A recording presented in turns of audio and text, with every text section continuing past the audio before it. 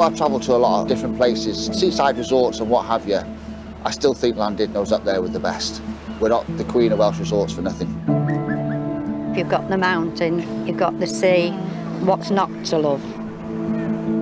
Look all the way around. It's like 360 degrees of pure beauty. Llandudno, a vibrant seaside town. At its heart, the pier. How do you explain Llandudno Pier to somebody? It's the finest Victorian pier in the world that stands in one of the most beautiful settings in the world. This marvel of Victorian engineering first opened its gates in 1877 and at a staggering 700 metres is Wales's longest. We're looking at the pier day in, day out, going round it maybe 10, 15 times a day. It's, it's majestic. This is the story of the men and women of the pier and a way of life in tune with the tides. This is our one hour sail this morning, folks, upon which we will be viewing the Great Orme. The wildlife. If you buy a donut, you best buy a donut for the seagull. They're very clever and they'll come and rob every bit of food off you. And the tourists. To run a hotel, you've got to be, I think, a little bit bonkers. Us hoteliers tend to be jacks of all trades. Got to keep these windows clean. It's the uh, biggest window on the bay. The Punch and Judy's been here since 1860, so what we're trying to do is we're trying to carry on the tradition. I've never worked anywhere like it, but like, it gets in your blood. It's a way of life. It really is a way of life. Never the same two days running, you know? You get the dolphins coming into the bay and you get the boats coming into the bay. It's, it's brilliant, absolutely fantastic. I mean, look at the view out the office window, it's absolutely stunning. We follow the highs and lows of the summer of 2021 as life gets back to normal after difficult times.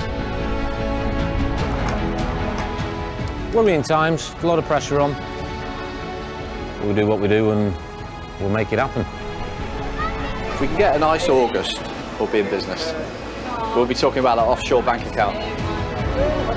After the difficult year that people have had, this is what everybody needs now.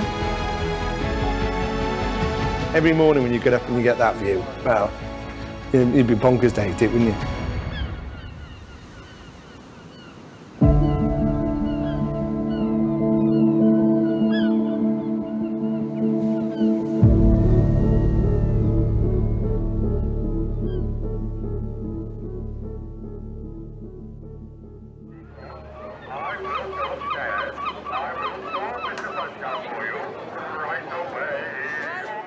It's a nice place to be.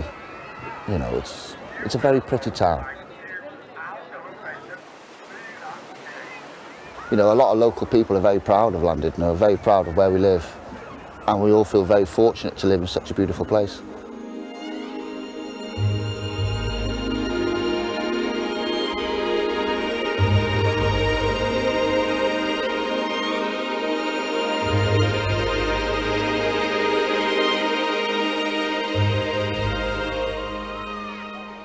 Think Llandudno's a, a one-off location in the world.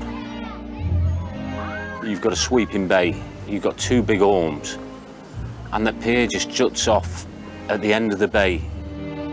There's not a pier like it. Normally piers strut out from a straight piece of land, and this is where this is different. It, it struts off of a bay. The view you get from that is like an amphitheatre. It's a one-off. I can see why the Victorians built this in the first place. Well, the pier is relatively the same. The majority of it is as it was when it was first built, which is really nice how things have been kept like that. The original pier was built in 1877 and opened in August. So she's nearly 150 years old, which is some going for a structure sat half a mile out at sea.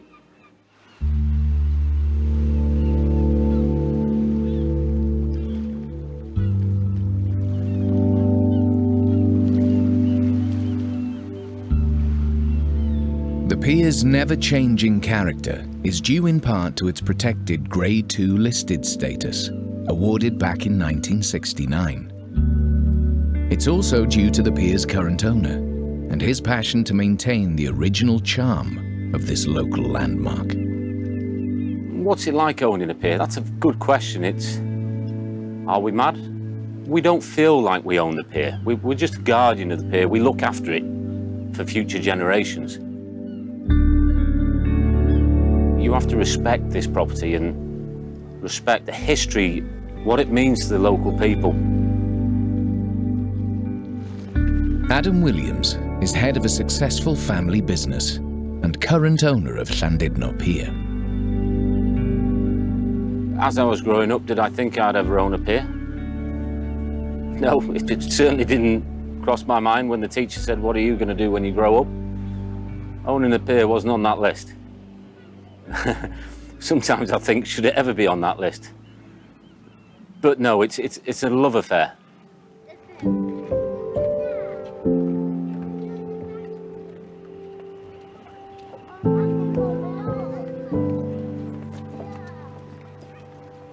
My family history, we go back over 100 years in entertainment, hospitality. My father and grandfather were showmen, travelling funfair. Goes back to my granddad and, and, and before that. And on my mother's side, they were farmers from Wales. And as different as that might seem, the cultures are very, very similar. Growing up, um, I, I spent a lot of time on the farm, but also we had other leisure attractions in the North Wales coast.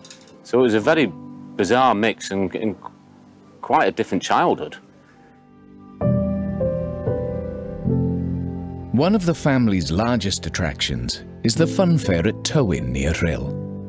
Adam's father, Billy Williams, was a bit of a local legend and expanded the family business beyond the fairground and into the world of horse racing, building Tir Prince Raceway right next to the fun fair. Yeah, yeah, my dad was quite a character. He also got into horse racing and he built a horse racetrack. And he always admired the pier.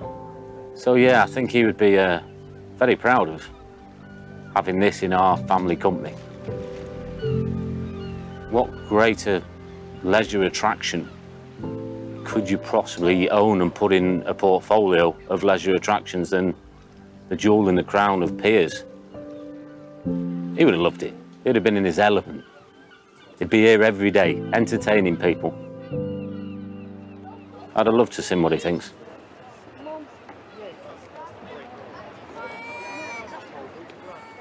Llandudno Pier is, is different in many respects to a lot of other piers. The first difference, which I think is the only pier of its type, has two entrances. So you've got one entrance at the neck of the pier and one entrance to the left off of the promenade. Now that's because the neck of the pier was built first. Then several years later, they extended it round to the promenade. And I don't believe there's another pier in the world that has two entrances. From the promenade, we, we split the pier into areas. So as you enter from the promenade, that's where a lot of our retail, the amusements, and we keep the noise and busy activities at that end all the way until you get to the second entrance, which is actually the original entrance. And then we've tried to keep the neck of the pier as it was originally built.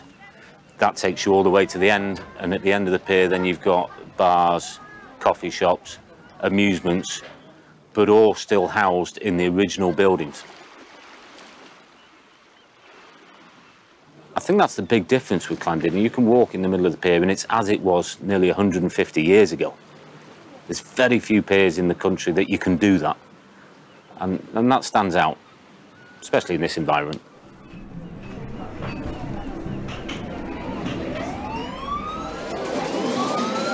Yeah, this is the heart of the pier. This is this is what pays for the pier, the upkeep. Without this, the pier ceases to exist. It's as simple as that. Every arcade has the same smell, and I think it's the same smell from years. It's always been the same. I remember as a as a child, 10-year-old, been in an arcade with, with my father, and it all feels the same. But this is where the the fun is this. This is the heart of any seaside resort, isn't it? This is what we all remember. It's not a business. If this was a business, I wouldn't be doing it. Working all these hours, and we do work all these hours, seven days a week. We love what we do. Generations of my family have got me to where I am. I've got to respect them and not let them down. Yeah, people don't realise what weight's on your shoulders in that respect.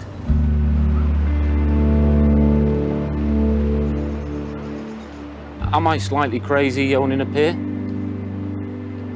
You might say so. It's, it's a big risk. Depending on the weather, a day like today, I'm probably the luckiest man alive to own such a structure. We've got a lot of plans and we plan to develop and, and just upkeep it for future generations without altering the heritage. Because I think heritage is so important.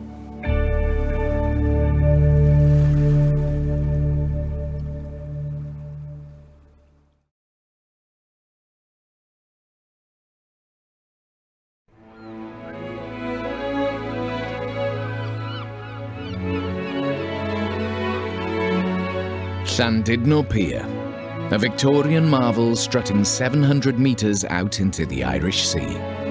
Since its construction in 1877, its iconic design has caught the eye of many artists and photographers alike. We're blessed to have such a great pier and the fact that it's in such good working order. It's just beautiful, um, everything about it. Lynn Morris is a local graphic designer who's turned her passion for all things seaside into a new business venture situated on the pier. I've been a graphic designer for 34 years, recently made redundant. Photography and crafts was my hobby. Being made redundant was the push I think I needed to set up a business. I was doing some artisan fairs locally and somebody mentioned the pier and sent them some samples of my work and fortunately they absolutely loved it and here we are. I have a unit and it's going really well and, and I'm absolutely loving it. Photography was my hobby and I used to do all this creative type of photography and enter competitions nationally and internationally and, and fortunate to win an abundance of medals, but they don't pay the bills. Everybody that's walking past, whether they want a picture or not, will, will see your artwork and, and it seems to make them smile and if they're smiling, they're taking more of an interest in my work, which is great, and then hopefully they spend some pennies too.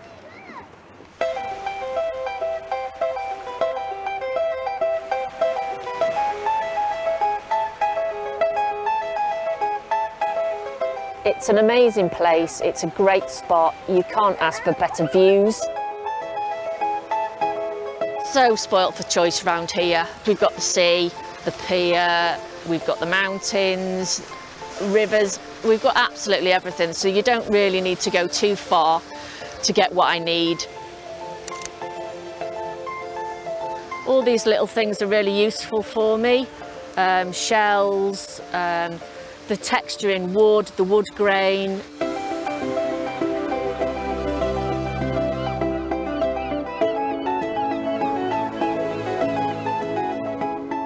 My stuff, I suppose, is creative photography. People say it's quirky. I've heard lots of people say they like it because it's different. And to see that people want them on their walls in their own homes is just, it's just wow. I, I can't actually believe it. I can just see something like the seagulls pinching somebody's donut and hundreds of images will come to my mind, you know, and then I'll go away and make a picture up.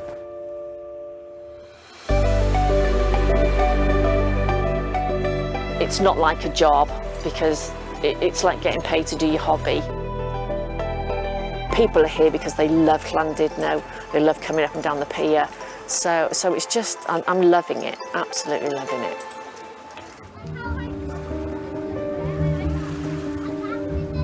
Lynn is not alone on the pier. From promenade to pierhead, it's home to numerous independent vendors. selling everything from ice cream to jewellery, beach balls to soft toys. Well, there's a, a great variety on the pier, all obviously different. We all have our own license, so we all try not to tread on each other's toes. But there is a great selection of shops on the pier, uh, ones that you don't really find on the high street, all independents, no big brands. So there's quite a lot going on, and they're all little gemstones, and people find them very, very interesting. Robin Pritchard and his partner Eira Williams were tempted from retirement to become part of the pier's family of stallholders. Together, they run a popular soft toy shop. We've been here about five years. We came here from Anglesey to basically retire. Hi, Hello, John. Yeah, you're right. They're going to film this. We've got the camera on today. Yeah, don't say anything rude, John. Just in case you'll be on telly. When I did retire, I was looking forward to sitting down in a garden and doing nothing at all. Well, the time came, we had about 18 months of having weekends here, days out there, and I'm the last person in the world to actually think that you know what, I'm actually bored. So we took a walk at the pier one day and then we saw a shop for rent. We took the opportunity and we haven't looked back. These are supposed to be the in thing at the moment, aren't they? Yes? There we go. Okay, six pound. Thank you very much indeed. nice Thank day. you, and you. Thank you. Bye-bye. When we took the shop over, it was nothing what we sell now. We've changed the shop and make it work for us. You open the door in the morning, it's a blast of colour and it makes you smile. A mystery is like Christmas morning when you do all this because I forget what I've ordered. Um, so it's really, really exciting to see what's in the box. I do all the purchasing because I wouldn't trust Robin because he'd ordered the wrong things. So no, I'm in charge of the purchasing. And I like to see what I'm ordering because I th- think Robin just ordered some random stuff I wouldn't sell. So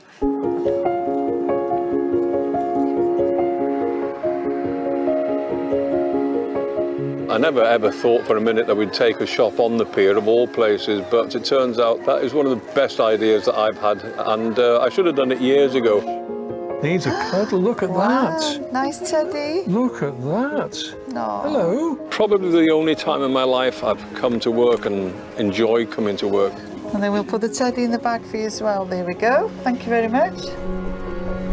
The great thing about living and working in Llandudno is that you're actually in an environment where everybody's on a, in a buoyant mood, everybody's elated because they're on holiday, so there's, there's quite a bouncy feel to it all. You know, it's the only place I've ever worked where everybody's joyous and happy. It's just a, a, a lovely, lovely place.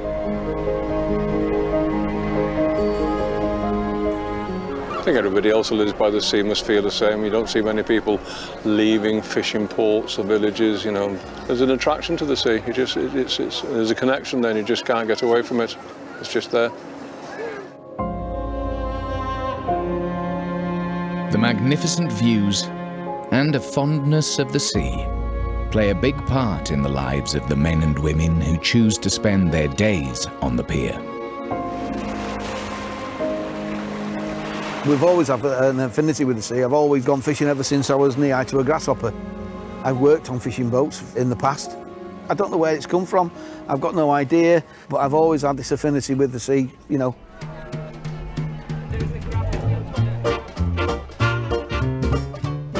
This is the, the first job every morning. Get the trays out onto the front, throw the stuff all over, cut down on your profit.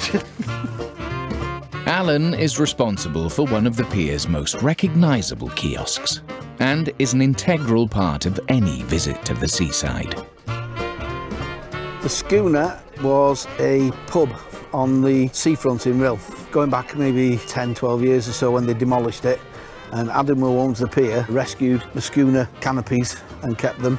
And then when I came on here, he, we, we had a problem with the sunshine and he offered us a canopy.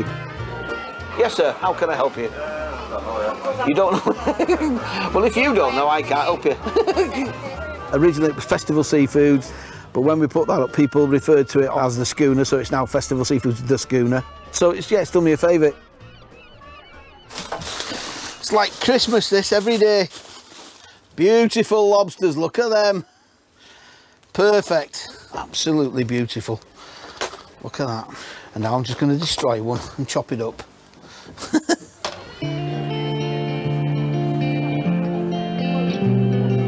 This is my third year on the pier. Prior to this, I was doing it at food festivals and things like that. This opportunity came up, said they were looking for someone to do seafood on here, so here we are, doing seafood and sticking to it, I hope. Long may it continue.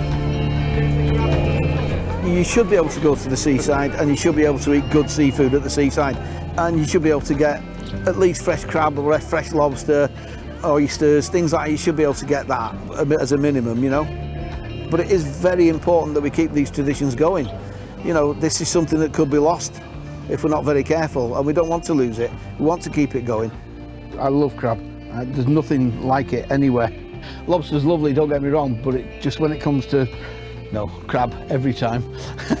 I absolutely have a passion for seafood. I love it, everything to do with it. Where it comes from, how it's grown, how you cook it, how it's eaten, everything, all parts of it, you know. I just love it. It's brilliant.